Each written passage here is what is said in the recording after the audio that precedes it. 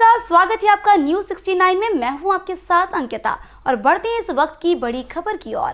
दिनांक 16 मई 2024 को पुलिस को फरियादी खंड पंचायत के अधिकारी अशोक कुमार ने थाना रिपोर्ट कर बताया कि उनकी ग्राम पंचायत जैसे ग्राम गिल्लोर, सीगांव, छिदगांव, मौजी पलासी कला, इटावा, खुर्द, राला, सिराली, लाचोर के लोन आवेदन, फ़ाइल का एसडीएम भिरुंदा, मदन सिंह रघुवंशी सीओ जनपद भिरुंदा एवं टीम द्वारा अवलोकन करने पर उसमें पंचायत सचिव व सरपंच के हस्ताक्षर में भिन्नता पाई गई। उनके द्वारा आवेदनकर्ताओं को बुलाया गया। बाद में जाँच की गई तो पाया गया कि Aviom India housing finance limited के लोन अधिकारी हर्ष परमार और कंपनी के अन्य लोगों द्वारा होम लोन दिलाने के लिए फर्जी तरीके से ग्राम पंचायत सरपंच व सचिव की फर्जी सील तैयार कर, फर्जी हस्ताक्षर कर आमजन को होम लोन दिया जा रहा है, जिनकी रिपोर्ट पर अपराध क्रमांक दो सौ पैंतालीस बटे चौबीस धारा चार सौ बीस, चार सौ सड़सठ, चार सौ अड़सठ, चार सौ इकहत्तर, एक सौ बीस बी भादवी का पंजीबद्ध कर विवेचना में लिया गया।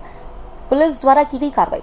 सीहो पुलिस अधीक्षक मयंक अवस्थी के द्वारा घटना की गंभीरता को देखते हुए त्वरित कार्रवाई करने के निर्देश दिए। अतिरिक्त पुलिस अधीक्षक गीतेश गर्ग व एसडीओपी दीपक कपूर के मार्गदर्शन प्राप्त कर थाना प्रभारी भैरुंदर द्वारा अपराध क्रमांक दो सौ पैंतालीस बटे चौबीस धारा चार सौ बीस, चार सौ सड़सठ, चार सौ अड़सठ, चार सौ इकहत्तर, एक सौ बीस बी सराहनीय योगदान उक्त कार्रवाई में थाना प्रभारी भेरुंदा निरीक्षक जीएस दांगी उप निरीक्षक श्याम कुमार सूर्यवंशी उप निरीक्षक राजेश यादव, आरक्षक रितेश तोमर, आरक्षक दीपक जाटव, आरक्षक आनंद गुर्जर, आरक्षक गौरीशंकर की सराहनीय भूमिका रही। नसुलागंज से न्यूज़ सिक्सटी नाइन के लिए अनीस खान की रिपोर्ट। इस खबर पर आपकी क्या है राय?